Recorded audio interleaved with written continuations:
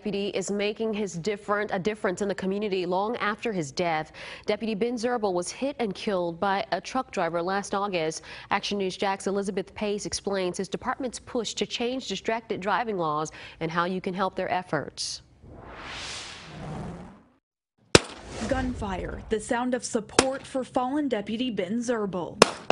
The Clay County Sheriff Deputy and father died in a traffic accident last year. Since then, Action News Jax has showed you how deputies crack down on distracted driving. He died in the line of duty. So, you know, we, we serve the, the citizens of Clay County and Northeast Florida as a whole. But when you when you lose your life in the line of duty, it is very special. Sheriff Darryl Daniels met with state senators to establish a clear definition of distracted driving.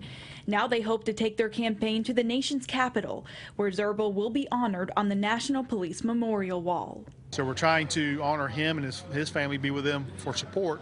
But it costs a lot of money to, to send the unit up there, so we're doing a couple fundraisers. Dozens of people are out here today supporting fallen Deputy Ben Zirbel. They're out here shooting with the sheriff to not only raise awareness for their campaign, but hopefully send some of their deputies to Washington, D.C. They all need our support, and uh, especially motormen. I mean, they're the most vulnerable of all of our officers out there.